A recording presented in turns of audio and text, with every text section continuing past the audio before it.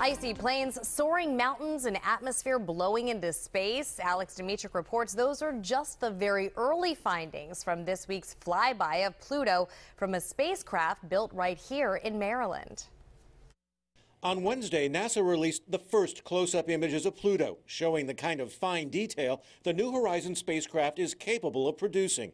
As it races away, the collected data is being sent back in bursts, something that will take months to complete. It's during this time that we're going to be able to obtain the data from the flyby. Today, NASA released the latest images and scientific findings. By looking at Pluto as it passes in front of the sun, a thin atmosphere of nitrogen and methane was measured, atmosphere blowing into space from the solar wind. Is about 500 tons per hour of material that's being that is escaping. I saw this image the first time. I decided I was going to call it not easy to explain terrain.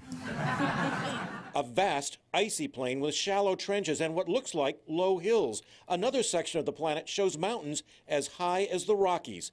Plains and mountains, signs Pluto is geologically active. I'm still having to remind myself to take deep breaths. I mean, it, the, the landscape is just astoundingly amazing. And the spacecraft, built and controlled by the Hopkins Applied Physics Lab in Howard County. What a historic week.